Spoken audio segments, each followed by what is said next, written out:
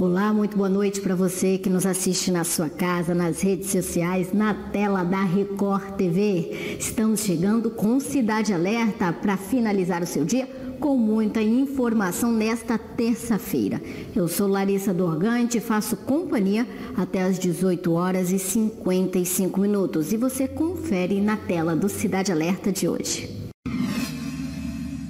Ainda de acordo com os bombeiros, as duas vítimas estão bem e foram levadas para o Hospital São Lucas.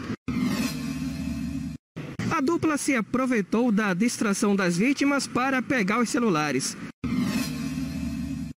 Tudo isso e muito mais é a partir de agora na tela do Cidade Alerta.